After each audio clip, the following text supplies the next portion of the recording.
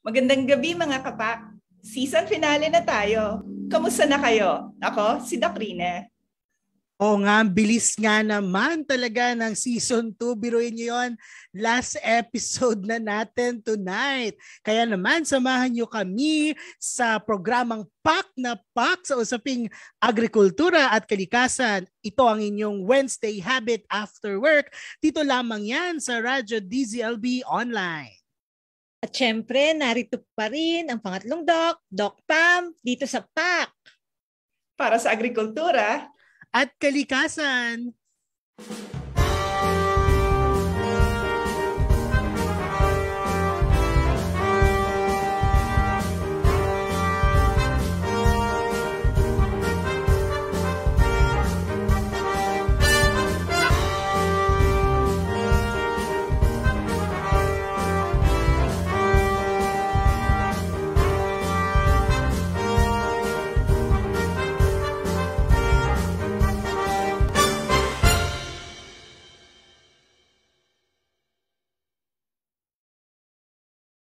Ang PAC ay ang programang hatid sa inyo ng UP Professional School for Agriculture and the Environment at layunin ng programang ito na makapaghatid ng impormasyon tungkol sa agrikultura at kalikasan na tumpak, may impact at kapaki-pakinabang. Kaya naman, dahil tumpak, may impact at kapaki-pakinabang ating mga pinag-uusapan dito sa PAC, tunay rin namang jump pack no? siksik na siksik ang bawat episode natin dito sa PAC Season 2. Nitong mga nakaraang episodes ay uh, natutunan natin ng iba't ibang uh, bagay tungkol sa watersheds no na ang WILUP no policy advocacy project ay mahalaga sa pangangalaga ng ating mga watersheds at uh, natutunan din natin na ang comprehensive land use plan or CLUP ay nagsisilbing blueprint at batayan sa maaring gawing development activities sa mga bayan-bayan. At of course, nakita din natin ang kahalagahan ng paggamit ng ridge to reef framework lalo na't mga upland at coastal areas ang bansa ang apektado rin ng climate change. Yes, Doc Rina, Doc O'Neill, napakarami nating natalakay tungkol sa watershed bilang isang pook at bilang isang batayan o framework ng pagpaplano ng komunidad. So yun nga, no, yung Ridge to Reef, WEM, sana maging uh, magawa na ng LGU na ito talaga yung gawin nilang basis sa kanilang paghahanda ng community land use plan. At syempre tayong lahat uh, kasama dito, uh, sabi nga natin, bahay natin ang watershed. At uh, may ma- marami itong maidudulot na kabutihan, lalong-lalo na sa pagtugon sa climate change at maging sa sustainability ng ating mga syudad at munisipalidad tumpak na tumpak ang sinabi mo, Doc Pam, no? At lahat nga ng bagay ay, maka, may, ay magkaugnay. Kaya kung ano man ang gawin natin, isipin natin na maaaring makaapekto din sa iba. Huwag natin kakalimutan yan. Ha? At syempre, dahil palawak ng palawak ang ating talakayan tungkol sa watershed, ay hindi natatapos, no? Meron pa tayong isang episode ngayong gabi nga, ating season finale. Siyempre, uh, bilang uh, pagra-wrap up ng ating topic sa watershed, no? Ay mas pag-uusapan natin kung paano natin nga uh, magagamit ang uh, R2R or WEM, ang ating framework sa pagbuo ng mga iba't ibang land use uh, plan at saka development plan. At uh, narito pa rin ang ating resident watershed expert mula episode 1 hanggang ngayon episode 6. Kasama pa rin natin sila, si Dr. Rex Victor Cruz. Now, Hi, uh, magandang, magandang gabi sa inyo, Doc Pam, Doc Rina, and uh, Doc O'Neill. No, at sa ating mga tagapanood uh, na ngayon ay uh, sumasabay sa atin ng ano ito, ika-anim na beses na ba to? No? So marami-rami na rin tayo na pag-usapan and uh, sana itong huling bahaging ito ng uh, ng uh, season na ito ng PAC ay uh, tunay na maging uh, uh, ano ba to uh, icing on the cake no ng mga natutunan ninyo. At uh, dito natin siguro may may uh, susulong yung take home message ng ano ng season uh, na ito no tungkol sa uh, uh, reach to reef approach no to uh, land use planning and development. So magandang gabi sa inyong lahat. Magandang, magandang gabi din sa ating panahon. Hindi ko nabati si Dean Ricky. Magandang gabi Dean Ricky. No, kasama natin siya ngayon. Magandang gabi rin, Sir Rex. At dahil nasabi niyo na na may kasama rin din tayo nga bagong guest mula rin sa ating UPLB community. Siya ay walang iba kundi si Dr. Ricardo Sandalo, ang pinakamamahal na dean ng ating College of Human Ecology. Magandang gabi, Dean Ricky. Magandang gabi sa inyong lahat. Magandang gabi, uh, Doc Rex, at lahat ng mga doktor nandito ngayon. na, na, na, na ano, pag na, anong tawag ito, nang, nang, na, nangingilabot ako pag tinatawag mo akong doktor eh. Kasi batang-bata ako na doktor, no? Bago-bago akong doktor. kaya, kaya naninibago pa ako. But anyway, uh, maraming salamat at isang karangalan na ako ang inyong naging guest sa inyong finale episode. Kung baga, sabi niyo, ay sabi ni Sir eh, icing on the cake. Ibig sabihin, matamis, masarap ang aking magiging kasama dito sa ating usapan. yes. Sige po, ah, pwede na tayo magsimula dahil uh, mukhang marami-rami ulit ang ating uh, pag-uusapan ngayong gabi. So again, maraming salamat po sa ating uh, resident watershed expert at sa ating panauhin si Din Ricky. So ngayong huling episode natin, pagsasama-samahin natin ang ating mga natutunan simula episode 1 hanggang ngayon. So may madadagdag ngayon. Ano? Tatalakayin natin kung ano-ano nga ba ang mga kinakailangan para sa epektibong para epektibong magamit itong Ridge to Reef framework sa pagbubuo ng ating community land use plan, uh, community development plan at iba pang LGU development plans. Ayan na, i-apply na natin ang uh, lahat ng natutunan natin mula episode 1. Siyempre, unahin natin sa ating uh, watershed expert, Sir Rex. Uh, ang una po naming katanungan sana. Ayan, tanong po ng aking aso. Sasagot ang aso ko niyan. ano daw po ang pangunahing hakbang sa pagsasagawa ng planning activities para sa formulation ng ating CLUP o Comprehensive land use plan? Ah, naku, mahabang usapan ito. Ah. Proseso na pala pinag-uusapan natin dito. Uh, but ang assumption natin dito, ano, nung nakaraang mga episodes natin, na unawaan nila kung anong mga pangailangan ano, para uh, totoong uh, maging uh, yung tinatawag nating robust, no? Robust, ano ba sa English yun? No? Robust ang implementation ng Reach to Reef approach, no? Uh, and uh, ang isa sa mga pangangailangan nga nun is that uh, kinakailangan magbago ng kaisipan no? ang mga ang mga may kinalaman dito na stakeholders no? Lalo-lalo na ang uh, local government units no? Dahil uh, sila yung talaga magi-implement na to. So kinakailangan yung kaisipan nila eh mabago no? At handa din silang uh, uh, tanggapin yung bagong konsepto na ito no? Siguro yun ang isa sa mga balakid eh no? Kung bakit uh, hindi pa rin uh, uh, ibayo yung paggamit ng Leads to Reef approach no, uh, sa paggawa o pag-update ng mga CLUP. Now, assuming na na, na, na, na hakbang na natin yan or na natalo na na natin no, yung uh, bahaging yan ng, uh, ng pangailangan at meron na ding kakayahan ang mga local government units no, na masunod ang Reach to Reef uh, framework sa paggawa ng kanilang CLUP at ng iba pang mga uh, development plans no na sila ay may mandato na gawin at i-implement no eh pwede na sila magsimula sa proseso no. And ang proseso ng ano ng paggawa ng uh, uh, ng isang ridge to reef approach ay uh, nakasalalay sa ridge to reef mismo no.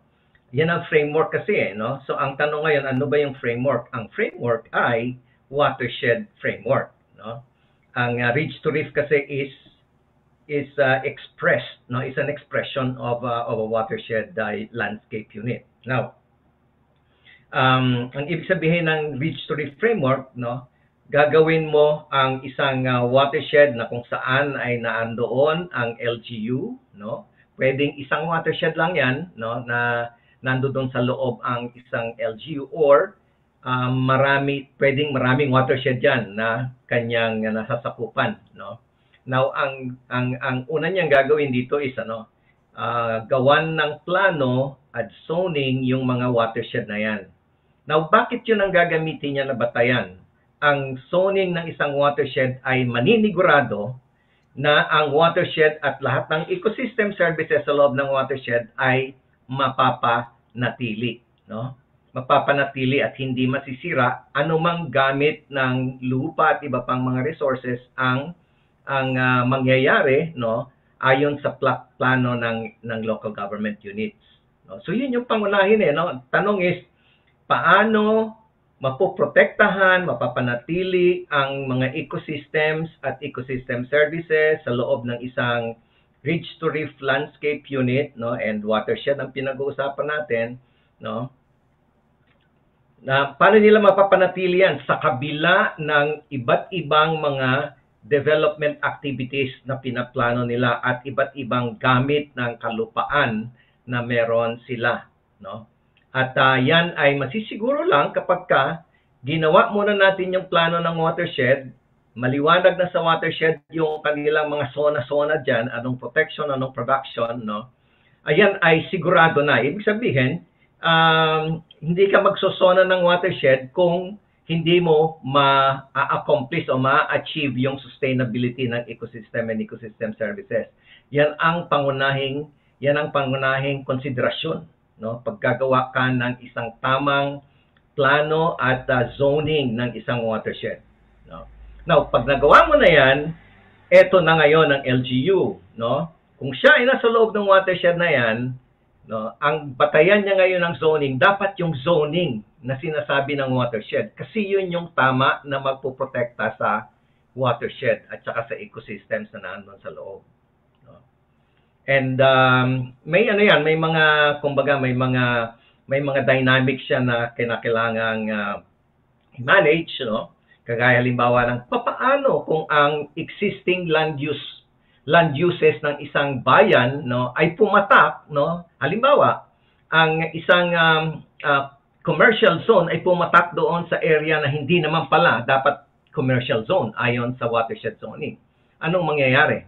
Well, uh, yung iba kasi natatakot na baka mangyari is, sige, palitan nyo yan, no? Sige, ilipat nyo yan, which is impractical na, no? Impractical na yan kasi existing na yan, eh, no? Ang pwedeng mangyari dyan, no? Yung commercial zone na sa hindi tamang zone, no? At may impact siya na makakasira doon sa zone na yon. So, alam na natin yan. Ang tanong ngayon, anong pwedeng gawin? Para mabawasan yung kasiraan doon sa zoning na yan due to commercial activities na hindi naman dapat nando doon. No? So naando doon yung compromise. No? Nando doon yung compromise. At least alam natin anong dapat gawin nung mga gamit ng lupa, yung mga land uses na nasa maling zone based on sa zoning ng watershed.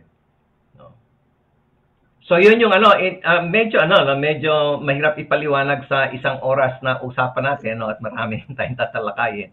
Pero ang paayo ko, lalo na sa mga local government units na siguro ay nanonood ngayon, no, eh, makibahagi sila sa ano sa capacity building training, no, kasi merong capacity building program ang WILO. No, at doon open sa lahat 'yan. Doon matatalakay ng detalye kung paano yung yung uh, mga proseso, mga step by step process no na kinakailangan. So for now yun muna kasi yun yung buod talaga ng ano ng ng uh, uh, reach to reef approach. Oo, tama nga. No, nabanggit nga ni uh, Sir Rex na napaka-importante ng zoning. So parang review tayo no, yung sa production at saka sa conservation. At uh, lagi kong, uh, hindi ko nakakalimutan yung sinasabi nga ni Charex na sa development, hindi natin pwedeng ibaliwala rin yung uh, sustainability ng ating ecosystem. No? So dapat ay balanse o dapat magkasabay? Meaning, nakikinabang tayo sa environment or sa ecosystem. So, kailangan pangalagaan natin. Dean Ricky. Yes. Siyempre, uh, ang College yes. of Human Ecology ay alam kong uh, kayo rin po ay uh, uh, may yeah. kaugnayan ng inyong kolehiyo dito sa mga environmental resource planning. O ano? Yeah. Siguro ano, i- idadagdag ko na lang siguro ano kasi pinag-uusapan na natin yung paggagawa ng plano.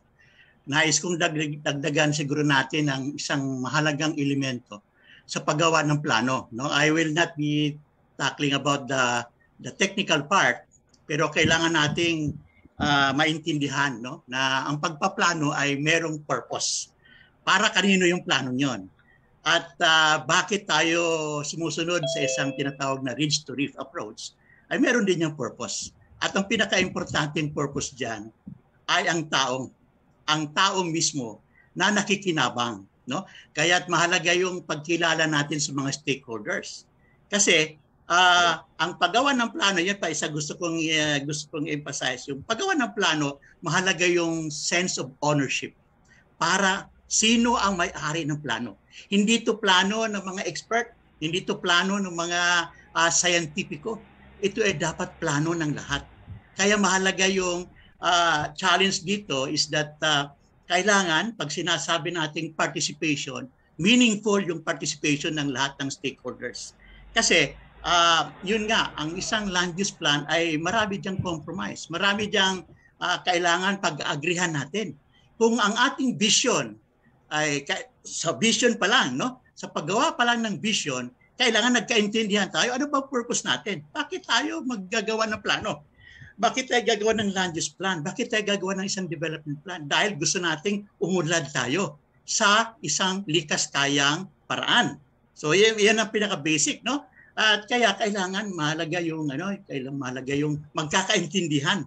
Kaya mahalaga dito ang mga development communication, no? Uh, kailangan kasi ay ito ang kailangan ng mensahe nating um, kailangan maintindihan ng mga planners, no? Kailangan i-emphasize natin na ang plano ay ang mga planners ay dapat sila lang ay magpa-facilitate no? Magpa-facilitate lang sila ng proseso dahil ang dapat ang may-ari ng plano ay ang taong bayan.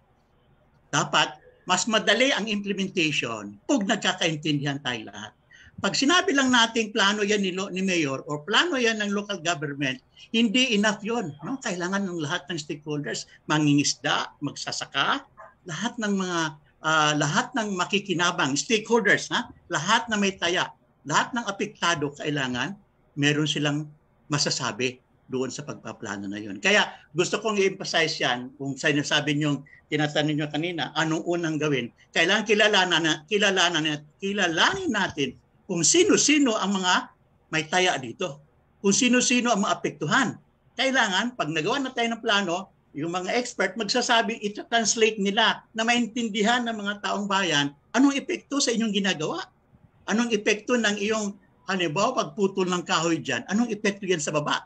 Kailangan magkaintindihan yung taga, taga upland at taga lowland at yung coastal, magkaintindihan sila na kailangan magtulungan tayo. Hindi po pwedeng kayo lang dyan na makinamang. Kailangan kami dito sa baba ay kailangan tingnan niyo rin. No? Kaya nga, itong kagandahan itong ridge to reef na ito ay ito ay pwede nating i-apply in several layers no among local government units no among provincial governments no among um, regions pwede pa nating pag-usapan kung may isang, isang river basin kaya um, ito ay isang isang paraan na magkaroon ng pagtutulungan magkakaroon ng collaboration no kaya kaya nga um, kung halimbawa yung uh, WILUP natin ay uh, focus tayo sa Los Baños, una, kailangan isipin natin, siyempre, yung mga coastal areas, yung mga mangingisda, yung mga magsasaka, yung mga nakatira dyan sa bayan, yung mga nakatira sa taas, no, sa makiling, ay kailangan lahat yan ay nagkakaintindihan. Ano bang gagawin natin sa ating watershed, sa ating uh, sa ating uh, ridge to reef? Pagkatapos, sasabihin naman natin, aba, hindi lamang ang ano, hindi lamang ang Los Baños ang dapat kausap natin dito. Dapat ang taga-Bae at taga-Kalamba, kailangan mag-usap-usap tayo dahil we're sharing no? the same watershed. No? Maaring uh, uh, we also, in fact, we're sharing Laguna de Bay. No? Um, pareho tayong may-ari ng Laguna de Bay. So kailangan mag-usap-usap din. No? So this is an area na pwedeng ang ridge to reef ang magbibigay ng uh, parang platform para magkaroon ng collaboration. Collaboration among the users of the area and collaboration among the managers of the area.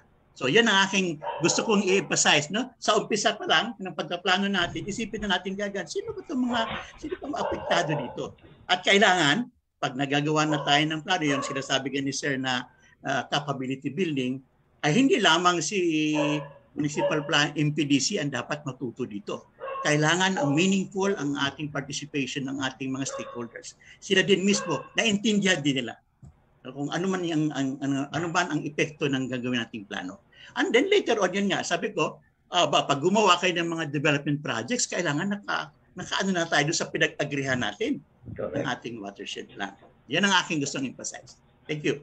Maraming salamat, Dean Ricky. Siya nga naman, ano, talagang importante na talagang kabakas, kasagpi, kasama ang, ang mga lahat ng may taya sapagkat ang uh, mga watersheds natin ay talaga namang ating tahanan. Pero nice nating malaman din, sirs, ano, sino-sino po ba ang mga, aside from the stakeholders, of course, stakeholders naman itong mga to, ang mga dapat um, namumuno o nagpapasimuno or nangunguna sa sa loob at labas ng isang LGU when it comes to itong ang uh, CLUP? Ang mga ang mga importanteng ano diyan, ang mga, mga importanteng players no nabanggit na kanina ni ano eh, ni Dean Ricky no. Hindi lang yung local government units pero sila may pangunahin talaga silang ano may pangunahin silang uh, anong tawag diyan, uh, tungkulin no kanilang ano yan, kanilang tungkulin nila yan na pangunahan yung proseso na yan kasi sila ang uh, sila ang kumbaga sila yung custodian niyan, no? Sila yung mag uh, mag-i-implement niyan ano, lead agency. But hindi nga lang 'yon ang hindi nga lang sila ang dapat na ma-involve sa paggawa ng plano kasi yung plano na yan will cover practically you know yung the whole area the whole watersheds no na, na nandun sila sa loob and therefore lahat ng mga nandun sa loob kasama. Plus yung mga taong nasa labas din na merong interest din sa kanila no. Meron tayong tinatawag na mga stakeholders uh, inside and offsite no. So lahat yan. Uh, nung minsan nga gumawa kami ng plano para sa uh, sa island, no, Summer Island, no. Pati yung mga turista, no, yung mga turista galing sa uh, ibang bansa, inabot namin 'yan. Nagkaroon kami ng uh, ng survey, no, para malaman namin kung ano yung kanilang saloobin tungkol doon sa uh, ano nga bang park yung maganda na nasa Summer, nalimutan ko ng pangalan, no. Sohoton na tayo, no, no, yung Sohoton. Ano ang ano ang uh, kanilang kumbaga ano ang kanilang uh, feeling no? Na dapat gawin para maprotektahan yung yung uh, tourist attraction na yan doon sa Summer Island. Yan ganun kalawak no, ganun kalawak talaga yung pag-reach out sa mga tao na merong taya no, yung may stakes doon sa uh, paggawa ng plano. So, ano pa yung ibang mga nangunguna diyan no? Dapat naandyan din ang um, ang provincial no? Hindi pwedeng yung munisipyo lang dapat yung provincial ay uh, naandiyan dyan din, kasama din, no? And nabanggit kanina ni ni Dean Ricky, no? Pati yung region, no? Pati yung region dapat actually pag gumawa ka ng isang river basin na malalaking watershed yan, ano, ang sakop niyan ay ang makakasakop diyan talaga ay uh, yung tinatawag na Regional Development Council, no, yung RDC na siyang uh, mag uh, kumbaga mag-a-approve no ng river basin plan na magiging framework naman ngayon para sa paggawa ng isang uh, ng isang local development plan, local land use and development uh, plan. So kasama 'yun diyan and then uh, of course, kilalanin natin na ang SLURB no o ang DSUD na ngayon, LUPDB DB na no ay may mahalagang uh, mahalagang tungkulin din dito na gagampanan no. And uh, yung mga key uh, key agencies no with uh, on the ground no special development interest no sino-sino yan DNR DA no? Uh, of course DSUD nga no? Kasi housing and um, and urban development no? Uh, uh, yan ang mga ano and then DPWH kasi yung infra development no? Infrastructure development. Malaki din ang kinalaman niyan sa malaki din ang kinalaman niyan sa land use no? Sa land use plan. So uh, marami no? Iba't ibang ahensya at iba't ibang mga uh, level ng ano ng uh, ng uh, local government units dapat ay uh, maganda yung malaki ang ano malaki ang ginaganap uh, ginagampanan dito sa pagbuo ng uh, ng plano na ito. Of course andyan yung mga local stakeholders no sa civil society itself you know that can cover iba't ibang grupo youth no? Uh, uh, senior citizens you know uh, women no lahat yan ay kasama farmers fishers no um yan ang mga ano yan ang mga uh, makakasama natin dito sa plano na ito. Maganda nga yung pagkakapaliwanag ni ano eh, ni Dean Ricky kanina no. Actually, pag titingnan natin yung YLOOP, ano, yung guidelines na meron tayong susundin para sa piloting, talaga number one step yung stakeholder um, identification, uh, mobilization, is orientation, and then mobilization. No, napakahalaga talaga niyan. Kasi, again, ulitin ko lang sinabi ni Ricky kasi mahalaga yung sinabi niya, eh, no? Ang mga namumuno, nag, alimbawa, mga ekspertong namumuno sa paggawa ng plano, hindi nila plano yun dapat lalabas niyan kapag buo na yan, plano yan ng mga stakeholders. Otherwise, eh, yan ay mapupunta lang sa ano, mapupunta lang yan sa sa mga bookshelves nila, no? Uh, yeah. Magkasama kami ni Dean Ricky sa paggawa ng ano, halimbawa, Manila Bay, you know, Sustainable Development Master Plan ay talaga namang napaka ang pinakamaraming activity namin ay stakeholder engagement, no? Yun talaga yung pinagbuhusan ng ano ng aming uh, oras at energy, no, at mga resources namin. Okay? So ang stakeholders na naabot natin noon ay libo-libo eh, no? Libo-libo eh. Manila Bay. Oo. So ganon ganon ang ano, ganon talaga ang ang mangyayari dito, no? uh, ang hirap ano, ang hirap na may maetsa puwera eh kasi mm. magiging sila magiging source ng problema ninyo. Yeah. Kaya nga eh, siguro pagdadagdag na rin din ako no. Sige, uh, sige. Siguro sa paggawa ng CLUP kasi meron din sa bandang huli, no, sa bandang huli sa paggawa ng CLUP, uh, ah, required yung public hearing, yeah. no? Uh, the public hearing is actually just supposed to be parang ministerial na lang yan. Correct. Kasi kung sa umpisa pa lang sa pag uh, pag-ipon mo ng mga stakeholders ay kasama na sila pagdating mo ng stake, ng ng public hearing eh ano na lang yan sabi na oh yun yung napag-usapan natin no Correct. pero kung pagdating pa lang sa doon mo lang sila tatanungin sa public hearing ay magkakagulo tayo magkaka magkasasabihin ng mga iba eh bakit nyo ginawa ganyan yan eh maapektuhan naman kami. Hindi man tayo nag hindi man tayo nag-ulaman tayo pinag-usapan na ganyan, no? Kasi yeah. actually itong land use plan is uh, parang ano ito eh. Uh, a land use plan is a control plan. At actually, it's not a development plan. It's a control plan. You are uh, planning, you are prepared, uh, you are uh, you are uh, identifying the control. No? Ano yung pwedeng gawin? Ano yung hindi pwedeng gawin sa isang zona na yan? So, uh, kailangan pag umpisa pa lang, nagkaintindihan na tayo na ayan ang ating gustong gawin diyan sa lugar na yan. No? Yan ay yan ay aplan yan. Pagka yun ay sinira ninyo, kami dito sa baba ay magkakaroon ng problema. Mawalan kami ng tubig halimbawa. Ngayon, yung mga agricultural uh, lands naman, no? Pag gumamit kayo ng maraming uh, uh, fertilizer na nakaka nakakasira ng uh, environment, Pagdating niyan sa amin dito sa baba, sa tubig, ay maaaring magkaroon kami ng red tide kung hindi tayo magkaintindihan. So ganun yung kailangan magkaintindihan tayong lahat dahil uh, ano ito eh. Um, kaya nga yung, yung kagandahan naman ng watershed, no? yung ridge to reef. Kasi this is a platform for vertical and horizontal integration. Ito yung platform na dapat mag-usap-usap tayo. So yun nga, sa bandang huli, kung may public hearing man, ay pagka meron kayong diyang nasagasaan, eh, magkakagulo, no? Mag, magrereklamo, no? Kaya naman, halimbawa, yung paglagay ng dolomite diyan sa Manila Bay, no? hindi na, wala naman yan sa konsultasyon, di ba? Eh, pagdating ng ano, bay, narami nagreklamo. Kasi, bigla na lang yung implement. Wala namang, wala namang sa, sa ano naman ang kagandahan ng ginawa niya na yan. Di ba? Yun, yun, yun, ang, ano, yun ang importante, no? Importante nga yung sabi ko nga yung uh, participation. Meaningful dapat ang participation nila. Yes. Oo nga, no? Opo. Sabagay, tayo, takasa tayo, kasama tayo sa stakeholders.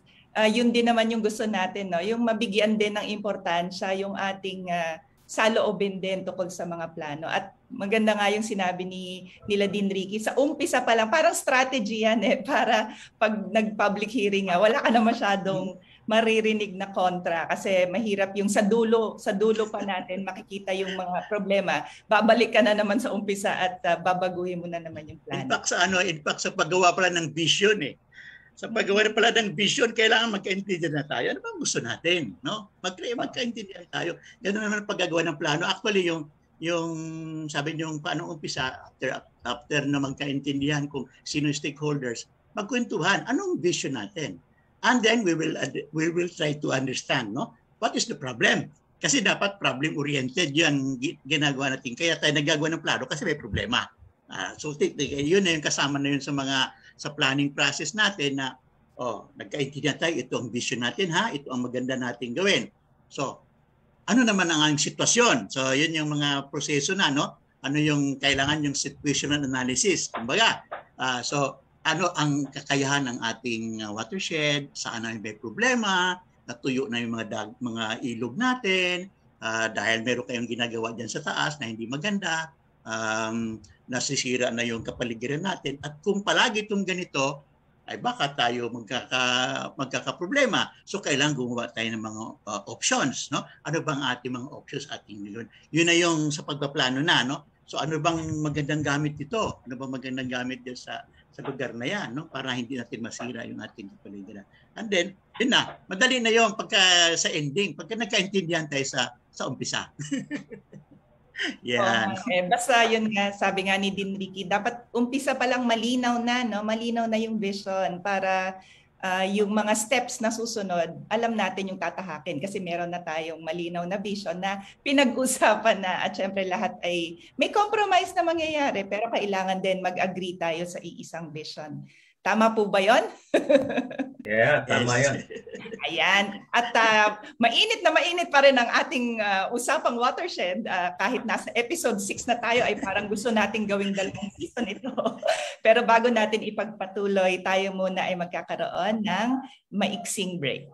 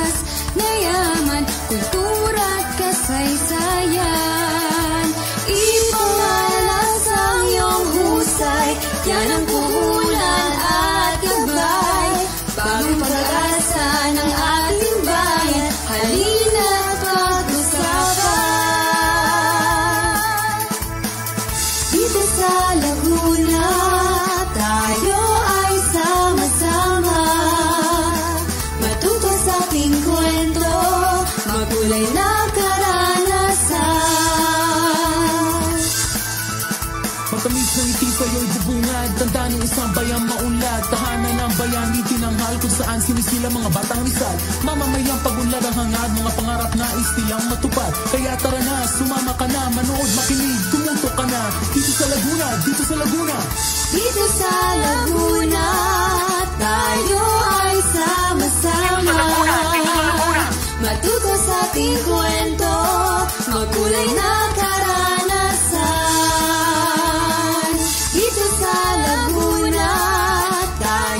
Samahan niyo akong pagsaluhan magagandang kwento, masasayang karanasan, at makabuluhang usapan. Lahat ng yan! Dito sa Laguna!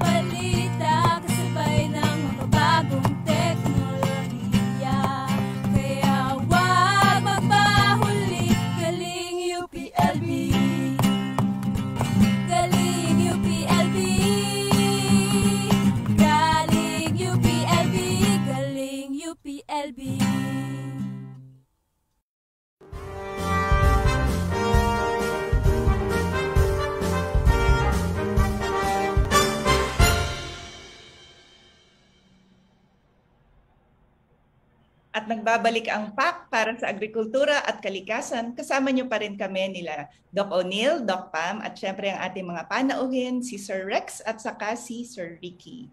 Ayan, kanina po ay medyo binitin lang natin ang ating uh, talakayan pero uh, itutuloy na po natin mga sir, mga tatay, nakikitatay na naman ako. mga tatay. Kanina Sir Rex nabanggit niyo no na isa dun sa mga kinuha niyong datos ay survey nga no, galing sa mga stakeholders. Uh, maliban dun sa mga survey na yon, ano pa po yung ibang mga critical na datos na kailangan natin para makapagsimula sa pagplano? Nako, napakarami niya. mga example lang po ng mga oh, top five. oh, merong ano yan eh, merong merong tinatawag na groups no of uh, data sets na kinakailangan natin. Merong pang physical, no? Physical uh, uh, information no? Like climate, soil, water, no? Anything about the the physical world no? Na hindi no, hindi biological no? And then of course pag may physical ka may biological data sets no? Diyan kasama yung mga flora, fauna, yung biodiversity, you know. Diyan lahat papasok yan. And then meron kang syempre, meron kang social, no? Socio-economic, no? Pinaghahalo-halo yan kasama na diyan ng political, institutional, no? cultural, etc., demographic, no?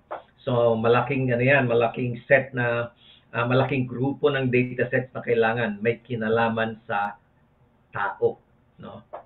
So yun yung ano, yun yung three sets, no? And then yung grupo naman ng mga data sets na kailangan mo per itong mga grupo na ito, pwede kang merong mga mapang kailangan, no? Or pwede kang mga mga kailangan ng mga statistics, no? Ibig sabihin mga uh, ano to, numbers, no, tables, ganyan, no? Pwede ka halimbawa kumuha ng uh, mga uh, datos ng populasyon sa PSA, no? Or pwede rin kumuha ka ng mga number of uh, population mo sa local government units, no?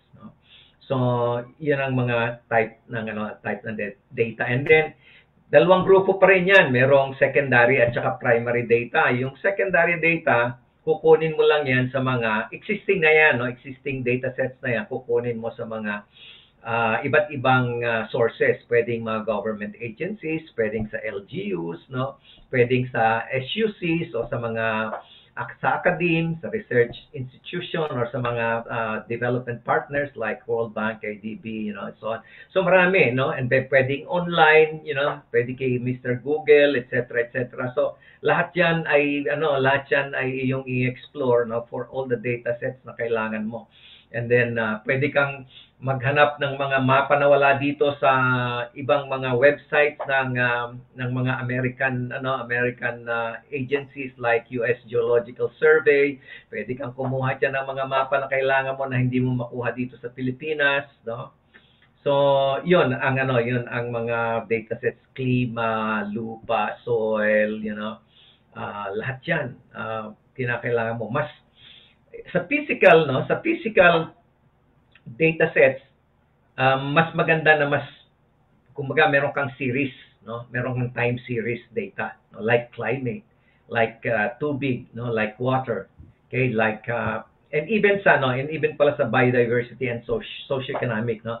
maganda meron kang time series. In other words, um, uh, yung datos mo ay, uh, kumbaga meron kang for, halimbawa, for the last 10 years, no? Napakaganda pag meron kang ganun data sets, eh. Then you can you know you can uh, you can um, uh, get a lot of information sa trend analysis, no? Tumataas ba, bumababa ba, bakit tumataas, bakit bumababa, and so on.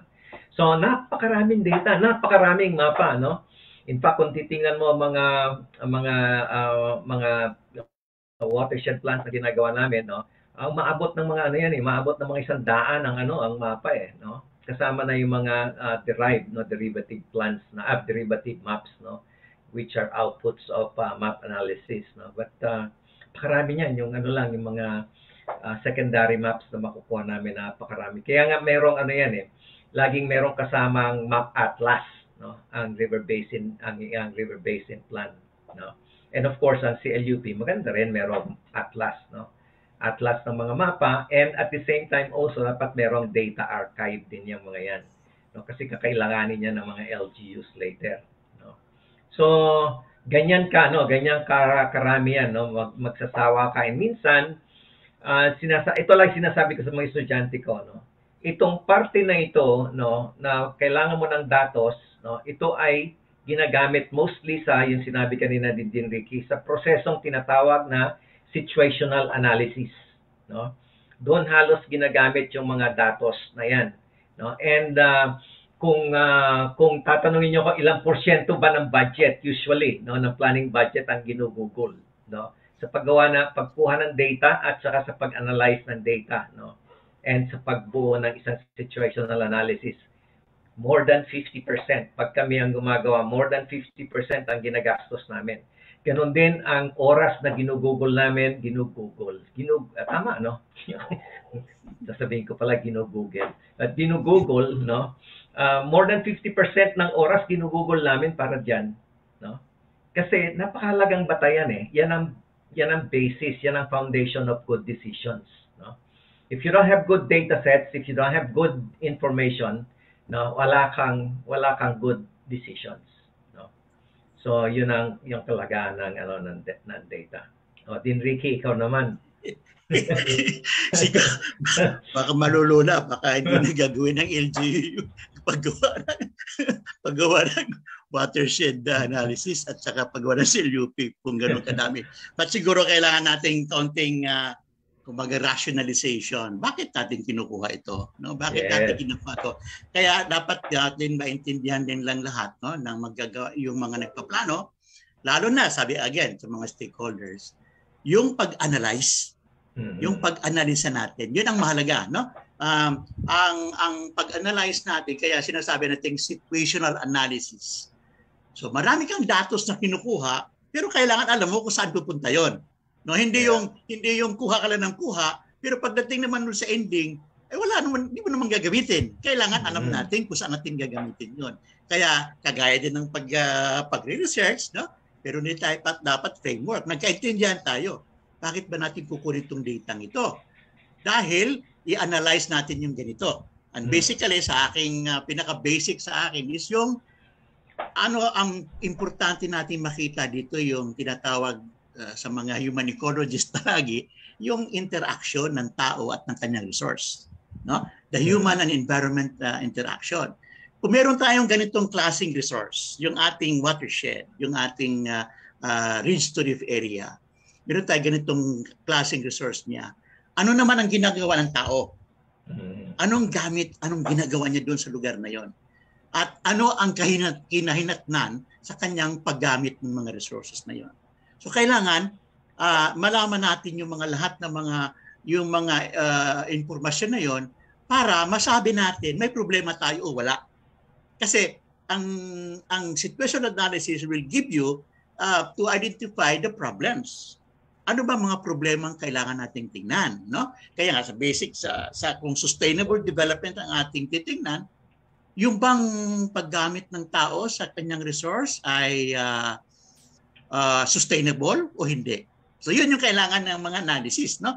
Kung hindi siya sustainable, problema tayo. May problema tayo. Kagawa tayo ng mga iba-ibang options. Yun yung paggagawa na ng plano. So yun ang purpose. Pag data gathering, kailangan nagkaintindihan.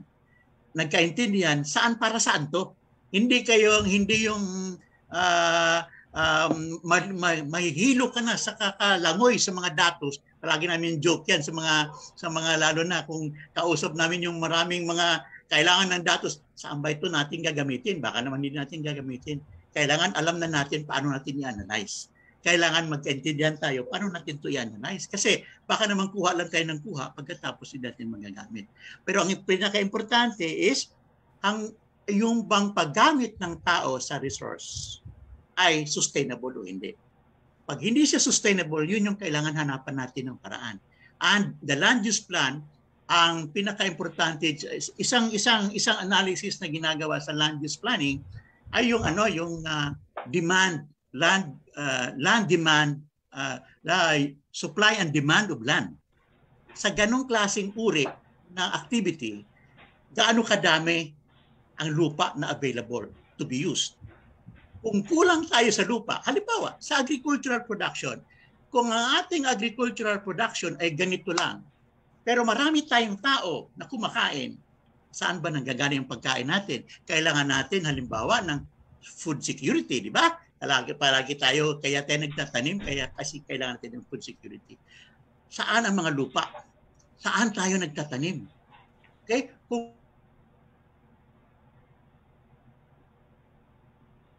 Nag-free si, ano, si Dean Ricky. Ang nawala si Dean Ricky eh. So yun yung ah, kailangan Uh, ano, nawawala ako. Yan, sige po. Sayang yung mga sinasabi ko, hindi narinig. But anyway, Hindi, konti lang, konti lang yung, konti lang yung hindi na, ano, konti lang yun. Yeah, ang sinasabi ko lang ay kail- kailangan nating pag nagkuha tayo ng datos, kailangan alam natin kung paano natin siya ay analyze. Yun ang importante. At yun nga, challenge to sa mga experts. No? Pag kuha tayo ng mga datos na hindi naman naintindihan ng mga farmers, hindi naman naintindihan ng mga ingisda, ano ba ibig sabihin yan? Ano ba yan sa atin? Yun ang challenge. No? Yun ang challenge sa paintindi natin sa lahat na ito ang problema natin kaya nagkakaganito tayo. So, hahanap tayo ng solusyon.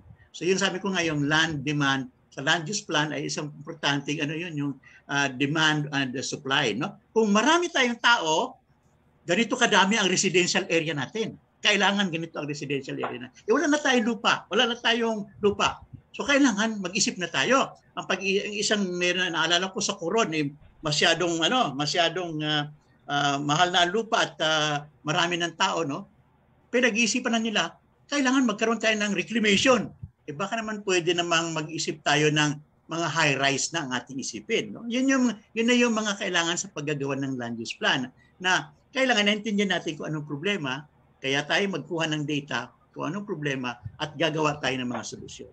Yun ang ating gagawin sa sa ating mga paggagawa ng land use plan. So yun lang siguro. Uh, I, want, I, I hope I, I have made some ano, um, uh, suggestion na yan. Mahalagang suggestion. Okay, thank you po. Ah, yan, dami na namang nadagdag sa ating alam. Sayang last episode na dapat yata may isa pa. Siguro ano, uh, tumbukin natin yung i ano na natin, idiretso na natin dito sa ating final question.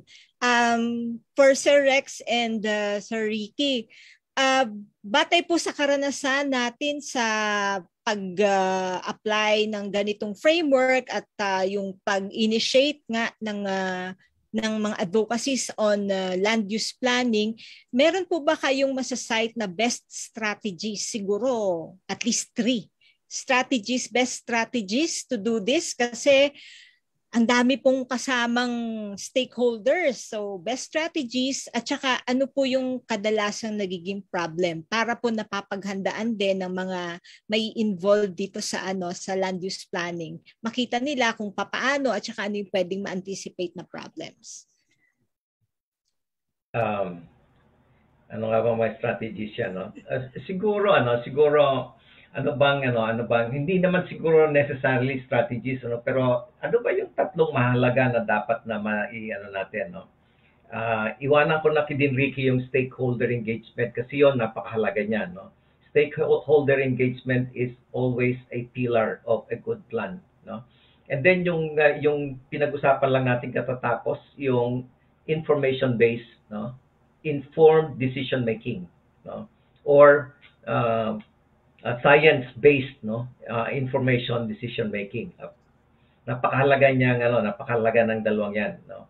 At ang uh, ang uh, ang isa pa no, ang isa pa ay um, uh, yung uh, tinatawag nating trade-off analysis, no. Trade-off analysis. In other words, pag nagko-compromise tayo, dapat maliwanag yung maliwanag yung parameters, no by which we uh, define yung ating mga negotiations no, and compromises. Kasi isang stakeholder gusto ng agricultural areas expansion, no? Merong isang stakeholder sabi hindi kayo pwede dito pumunta sa sa biodiversity conservation areas, no? Now, ang ang tanong ngayon is paano mo paano ba igagay itong mga ito ano ano bang klasing uh, proseso ang pagdadaanan mo well ang isang pinakamagandang process talaga is yung trade-off analysis. Kasi doon, ipapakita mo sa agrikulturang mga stakeholders at saka doon sa biodiversity conservation stakeholders, no? Magpapakita mo sa kanila ano ang magiging resulta pag pinayagan ng agricultural expansion, no? And then anong mangyayari kapag ka hindi pinayagan ng agricultural expansion? Yan ay makikita sa trade-off analysis, no? Maliwanag yan, ma masusukat yan, may estimate yan, no? At ito ay magandang batayan eh. Kasi pag alam nyo ang mga ang mga stakeholders ano sa sa mga maraming pagpaplano na na, na ko no? Kapag pin, pag pinakitaan mo ng drawing at saka data no? Uh, nakakaintindi sila at hindi naman sila yung matigas ang ulo no uh, maniwala kayo sa akin na maski na yung mga ordinaryong tao pakitaan mo ng ganitong klase ng ano ng mga ebidensya no sila ay ano sila ay uh, nakukumbinsi eh no nakukumbinsi natututo no And uh, ito yung ano, ito yung um, uh, para sa akin tatlo no, stakeholders no. Yeah, hindi ko na didiscussin niya. Uh, si Ricky nag-discuss niyan kanina, no, evidence-based decision making. In other words, uh, whatever the land use options are, no, and what are the land ano land um, land use activities are that will be allowed, no. Uh, dapat yan ay nakabase sa uh, ebidensya ebidensya ng siyensya na hindi makakasira, no? but makakabigay ng benepisyo na kailangan pang ekonomiya at uh, pang uh, pang uh, development? So, yun yung ano, yun yung uh, kinakailangan. And then trade-off analysis.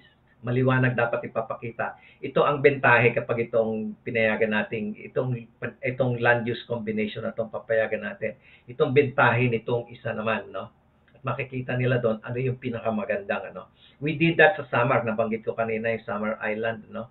Uh, development plan, pinakita namin sa kanila yung mga bentahe. Nagbigay kami ng tatlong options, pinakita namin kung alin ang may pinakamagandang, kumbaga, outcome, no? Uh, of course, noon, economics ang ginagamit eh, parang ano, pero para sa akin kasi pag economics lang pinakita mo, maraming makukubli na mga impormasyon no na mahalaga na baka ma, ma mag ano mag endanger no sa sustainability ng ecosystems natin. Okay, so 'yun no ang uh, sa akin mahalaga. Thank you. Din Ricky, idadagdag po kayo. Sige, dadagdag ko na lang siguro ang dadagdagan ko yung sa sa data no Uh, I, I think I will not talk about strategies but more, more of recognizing the challenges ng yeah. mga planners na dapat nilang tandaan. No? Kasi pag nakaisip sila ng naintindihan nila yung challenge na yon, the, the, makakaisip din sila ng strategies kung paano na gawin. So ang una ay yung aking gustong bagitin, yung nga, yung stakeholdership, no, yung uh, participation, no there should be a meaningful participation. It's not that easy, ah. It's not that mm-hmm. easy. Hindi 'yun hindi 'yun ganun kadali-dali na tanungin mo sila, no?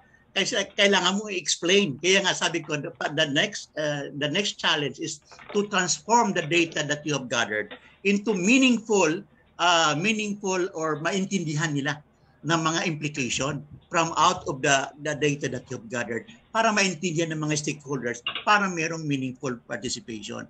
Makaka-participate lang sila kung naintindihan nila at nakarelate sila. No? Yung ma-relate nila. Uh, importante yung relationship eh. Kailangan ma-relate, makarelate sa, sa kanilang sa kanilang uh, sa buhay nila. Ano ba ang hmm. epekto ng mga datos na yan sa akin? No? Uh, kaya nga pa, parami na tayong mga marami na tayong mga kumbaga campaign about uh, climate change, mga ganyan pero importante dyan, nakaka-relate sila. Naintindihan nila yung sitwasyon.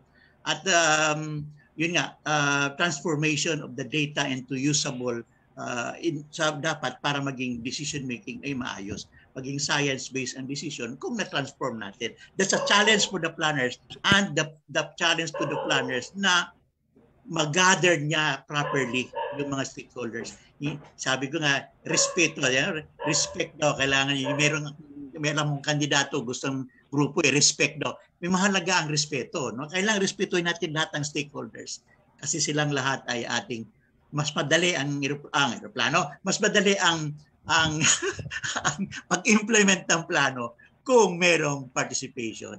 Kaya at sabi ko nga ang palagi kong ini-ending eh ang plano na hindi na-implement ay nagiging eroplano. No? Pinufold na lang yan at uh, pinapalipad. hindi hindi nagiging totoo ang ang implementation kung hindi siya na ah, hindi totoo ang plano kung hindi siya na-implement. Kailangan i-implement yung plano. Dapat yung laging ending natin. Hindi yung ah, gagawa lang tayong magandang ano, mga mapa, magandang drawing diyan. Eh, hindi naman na-implement. Wala, sinasaway din naman. Yun lang, siguro. Thank you. Maraming salamat Tin Ricky at si Charex talaga namang ano ano importante talaga na pagplanuhang maigi at i-implement ang uh, ang uh, CLUP at ang iba't iba pang mga development plans natin uh, na pinag-usapan ano? At uh, sabi nga ni Din Ricky ang eropla ang plano na hindi implement ng maayos ay parang papel na eroplano ifo-fold lamang at itatago. Ngunit kapag ito ay inyong masusing pinag-aralan at inimplementa ng maayos baka siya'y maging Boeing 747 lilipad siya ng matayog at makakarating siya sa kanyang paroroonan. Huling pananalita mula kay Dean Ricky at uh, kay uh, Doc Rex. So Dean Ricky, kayo muna. Uling mensahe po sa ating mga tagapanood ngayong gabi ito. Yes, uh, maganda itong ating topic nito at uh, very close to my heart. No? Uh, at uh, gusto kong pasalamatan kayo na uh, tinatakel natin ito dahil sana at hindi sana ito huli no na pagkakataon na pag-usapan natin itong advocacy on uh, the use of the rip kasi ang dami pang challenges. Uh, sana ay uh, makatulong tayo dito sa sa usapin na ito at uh, uh, harinawa ay maging uh, mag, maging ang pangarap natin na sustainable development. We can we we will reach sustainable development. We will attain sustainable development kung tayo ay reach to reef. Yun lang aking gustong uh, uh, pa, paminsahe sa natin. Maraming salamat din Ricky, Chansey Rex, Doc Rex. Yes, uh, unang-unang muna no, gusto ko magpasalamat sa ating mga tagapanood ano. Uh, siguro hindi natin alam eh no. Uh, marami siguro diyan ang ano sumubaybay talaga ng buong buo sa atin no. And uh, salamat sa inyo no. Sana may natutunan kayo and uh, sana ay maging kasama namin kayo sa pag uh, advocate ng ano no ng Reach to Reef approach or kung kayo ay nasa posisyon no eh tumulong kayo sa pagbibigay uh, ng uh, pag uh, no, pagsanay no pagbibigay ng kasanayan sa mga uh, taong kinakailangang masanay no kasama na yung mga practitioners no yung mga planners and uh, local government units and even yung mga national government agencies And uh, uh, gaya ng nasabi ko, marami pang gagawin tayo dito, no? Hindi dito natatapos ito, no? Uh, uh, may mga iba pa tayong mga activities, no? Hindi lang usapan na ganito, kundi yung totohanan na, no? Na napagbuo ng plano na gamit ang Reach to Rape approach, no? Gagawin natin yan dito sa Los Baños at sa San Gabriel, La Union, no? So yung mga tiga La Union at tiga Laguna at mga karatig bayan, no? Na naimbitahan na rin natin sila doon sa ano eh, sa kick-off meeting, you know. Uh, ay um, sana ay abangan niyo yan no at uh, makipag-ugnayan kayo sa amin no, upang uh, uh, maging kabahagi namin kayo dito no or matuto kayo sa pagmamasid uh, lamang ano no, kung anong mangyayari sa proseso ng paggawa ng Ridge to Reef base uh, uh, watershed plan. So 'yun. Maraming salamat din kay uh, Doc Rina, kay Doc O'Neill and kay Doc Pam ano at kay uh, uh, kay uh, Chico, no? Sino pa bang kasama natin diyan si Si RJ po at saka si, si RJ, Chris. oh, si RJ at saka si Chris, no? Nakasama natin all throughout. So maraming salamat, uh, maraming salamat sa inyo. No? Maraming And- salamat po at Dean Ricky, Chancey Rex. Ah, sabi nga ni Doc Rex ano, ah, makisa, makiloop. Why Yeah, loop? makilog. Because we loop.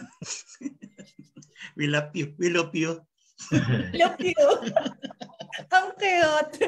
Marami pong salamat sa ating ah, mga panauhin. Siyempre, masaya laging kausap si Din Ricky at siyempre ang ating ah, resident expert na si Chalex. At nabanggit nga no, kanina, nabanggit ni ah, Sir Rex na meron tayong mga regular viewers. Pero doon sa mga unang beses pa lamang nakanood nitong ating ah, ah, season sa Watersheds, wag po kayo mag-alala kasi maaari nyo pong panoorin paulit-ulit ang ah, anim na episodes itong season 2. Punta lamang kayo sa Radyo DZLB online. At may bonus po tayo. Meron po tayong maiiksing uh, pagsusulit no sa pagkatapos ng uh, bawat episode. Ang mga link po sa mga quiz na ito ay matatagpuan sa FB page ng UPP SAE at saka ng YLOOP. Pag nakompleto niyo po ang uh, anim na quizzes ay maaari kayong makakuha ng verifiable certificate. Ibig sabihin may digital badge po yon. So parang kumuha na po kayo ng short course on watershed. Ayan. At meron pa po tayong, syempre, hindi po dito natatapos, no? although hanggang six episodes lang ang ating uh, season 2, tuloy-tuloy lang ang uh, inyong uh, pagtutok sa Y-Loop. Doc Pam, saan ba namin makikita ang uh, iba pang mga activities ng Y-Loop? Ayan, ang YLOOP po ay nasa Facebook, www.facebook.com slash yloop.uplb at ang email po namin ay yloop.uplb at gmail.com. So doon po sa mga nais makipag-ugnayan, maaari pong mag-message sa aming Facebook page or mag-send ng email o di kaya ay kontakin si Dr. Vida Q. Karandang, ang project head po ng WeLoop sa phone number na makikita ninyo sa screen.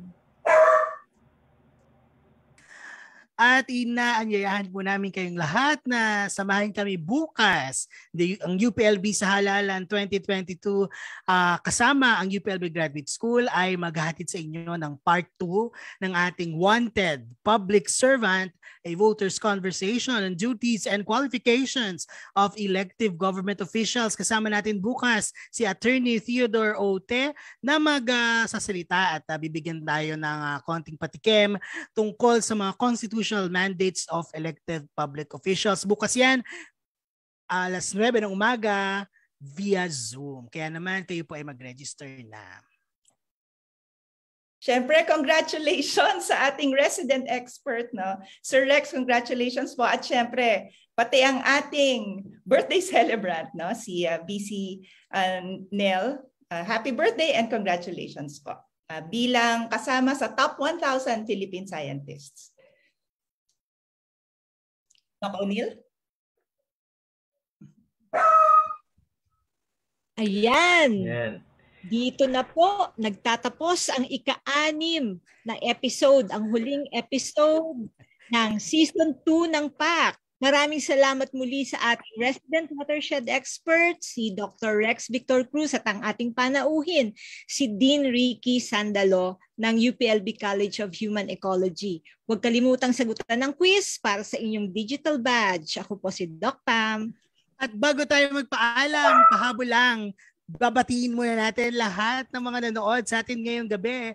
Si Emmanuel Penson, si Mariel Cabrera, Delro Tubong Banwa, Angela Limpiada, Camille Curibot, Doc Sara De Luna, uh, Parsons Hill, Emmanuel Nepa, Madge Tixon, Leila Mapa, Jemer Alimbon, Yarn Mas Masla at syempre happy birthday kay Vice Chancellor Nel Bantayan. Maraming salamat po sa isa na namang pak na pak na gabi at season 2. Ako si Doc O'Neill. At ako pa rin, si Doc Rina, kasama niyo mula season 1. At syempre, abangan ninyo, meron na agad tayong nakakasang bagong uh, pag-uusapan sa season 3. No? At syempre, bago tayo tuluyang magpaalam, maraming maraming salamat po sa ating bagong mga kapakner sa YLO. Ayan.